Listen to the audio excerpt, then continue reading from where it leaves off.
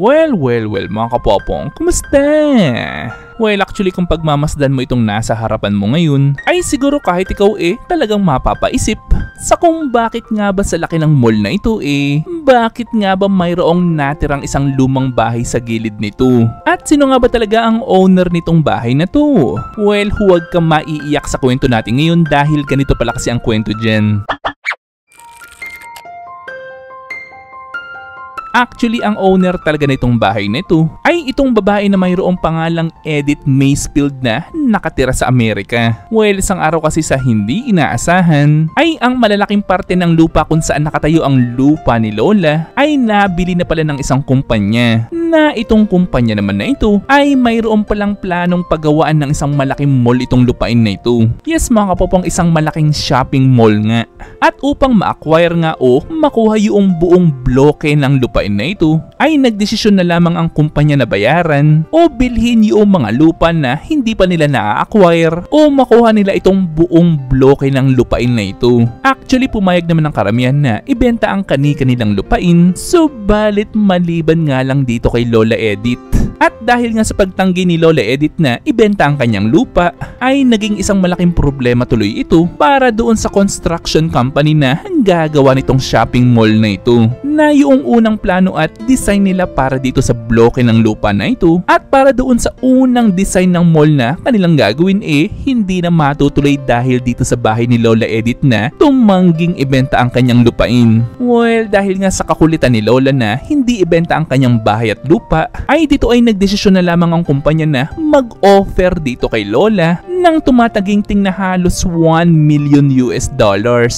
Subalit sa 1 million US dollars na ito, o sa pera natin ay halos 50 million pesos ay alam niyo bang agarang ni Repius o tinanggihan ni Lola itong malaking pera na ito? Yes mga kapopong, tanging itong si Lola Edith lamang ang hindi nagbenta ng kanyang lupa dito. At dahil uli sa pagtanggi ni Lola na ito, na kahit ilang beses na siyang inoperan eh, tumanggi pa rin siya, ay nagdesisyon na lamang itong mga architect at mga engineers na gagawa nitong mall na baguhin na lamang ang kanilang naunang plano. Isang plano na kung saan ang target nila eh makapagpagawa pa rin ng isang mall na kung saan ay iiwasan na lang nila itong bahay ni Lola Edith. Pero ang isa pang plano dito ng pinaka-head ng engineering na gagawa nitong mall na ito ay sinabi niyang sisiguraduhin nila na habang gagawin itong tatlong nagtataas ang pader sa gilid ng bahay ni Lola Edith eh dapat hindi daw magagambala itong si Lola Edith at dapat walang anumang debris o mga bato o mga bakal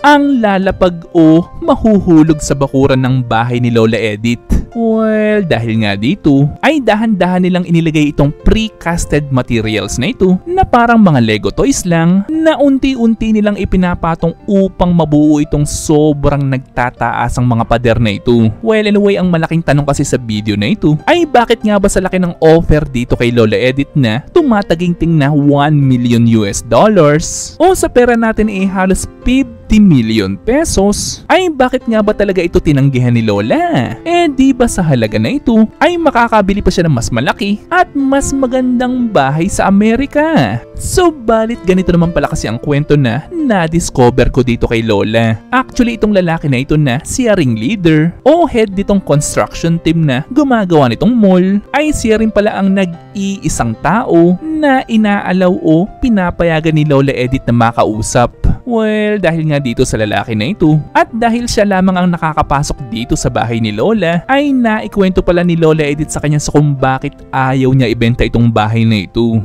Binanggit ni Lola Edith na actually simula pa lamang kasi noong pagkabata niya ay dito na sa bahay na ito siya lumaki kasama ang kanyang mga magulang. At dito rin sa bahay na ito sumakabilang buhay ang ilang miyembro ng kanyang pamilya kasama na nga itong kanyang mga magulang.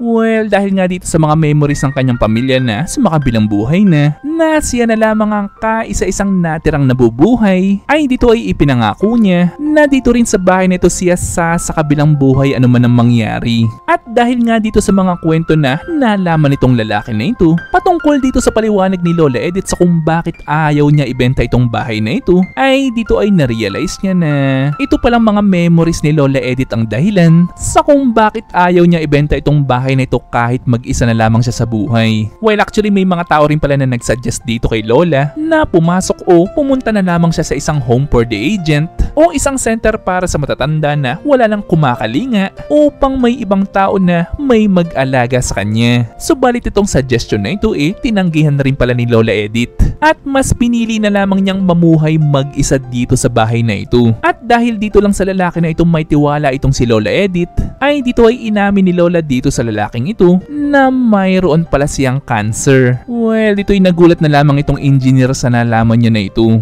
At kahit mayroong sariling pamilya itong engineer na ito, ay ipinangako niya sa kanyang sarili na siya mismo ang araw-araw dadalaw dito kay Lola at ipinangako niya sa kanyang sarili na aalagaan niya itong si Lola hanggang sa makakaya niya. Naging parang anak na talaga ang turing ni Lola Edith dito sa lalaking ito. Subalit sa hindi na sanay sumakabilang buhay na itong si Lola Edith sa edad na 86 years old. Yes mga kapopong namayapa na itong si Lola Edith. Actually, itong kwento ni Lola Edith na ito ay naging isang malaking balita noon sa Amerika na kung sanay noon nag-viral itong kwento ni Lola noon ay mayroon pang ang grupo ng mga tao na nagpetisyon na humihiling na huwag na lamang daw gibain itong bahay ni Lola kahit sumakabilang buhay na siya. Na dahil rin dito sa kwento ng buhay ni Lola Edith na ito ay actually dito rin pala kinuha yung istorya ng animated film movie na mayroong title na Up.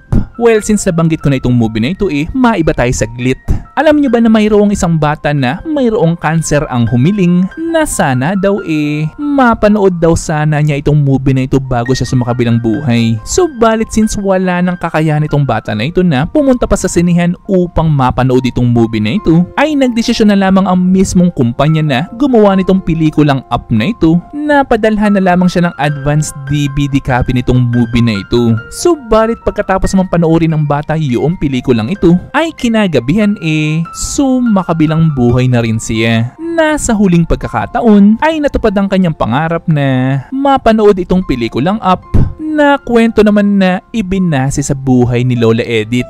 Well kayo mga kapopong napanood niyo na ba itong pelikulang Up? At ano pala ang masasabi nyo dito sa buhay ni Lola Edith na ito? Well, gusto ko malaman yan so i-comment lang yan sa baba. Ito yung aking babasahin ng personal at pupusuan. At syempre kung may nalaman o natutunan ka sa video tayo mag-subscribe ka naman. At nandito na yung inyong mga shoutouts. At kayo rin mga kapopong kung gusto nyo rin magpa-shoutout o mag-request ng video ay i-comment lang yan sa baba. At muli ko yung teacher Popong na nagsasabing, Te amo!